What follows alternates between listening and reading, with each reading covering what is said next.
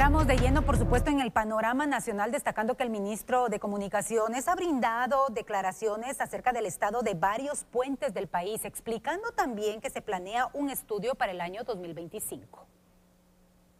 El ministro de Comunicaciones, Félix Alvarado, informó que se ha concluido la fase de trabajo de apuntalamiento que permitieron abrir el puente Nahualate, aunque bajo ciertas restricciones. Lo que ocurre en este momento, como se indicó, fue que con el apoyo de empresas de, la localidad se hizo el apuntalamiento, que es básicamente una solución temporal.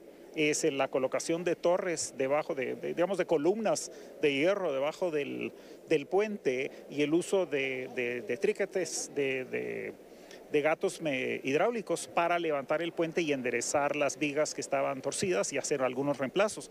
Esa fue la, la actividad que se hizo hasta acá. Ahora, la, solución permanente es completar el contrato de lo que se llama mantenimiento permanente, que fue lo que se inició en el gobierno anterior que es básicamente el, puente tiene, se le han colocado cuatro torres cuatro eh, torres, digamos, por, en los extremos y se va a tender un cable para detener el puente, en, esencialmente hacerlo un puente colgante, al menos parcialmente.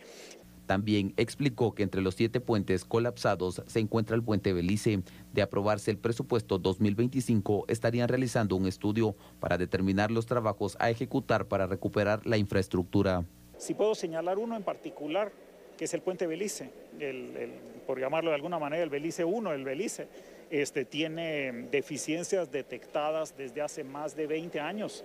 Este, se han hecho tres estudios en los últimos 22 años, porque fue en el 2002, si no me equivoco, que hicieron el primero, este, sin que se hubieran dado abordajes ah, integrales. Entonces nosotros hemos incorporado al presupuesto eh, regular un estudio de actualización con la intención de que, dependiendo de lo que nos diga ese estudio, podamos inmediatamente comenzar a hacer también atenciones al, al puente. Sobre el puente modular ubicado en el kilómetro 17.5 de la ruta al Pacífico, dijo que será retirado el 10 de noviembre. Añadió que el paso no será cerrado, pero reorganizarán los carriles para agilizar el paso vehicular. Ahí lamentablemente este, hubo algunos malentendidos que una de las municipalidades publicó alguna información eh, que se prestó a malas interpretaciones, el camino no se va a cerrar.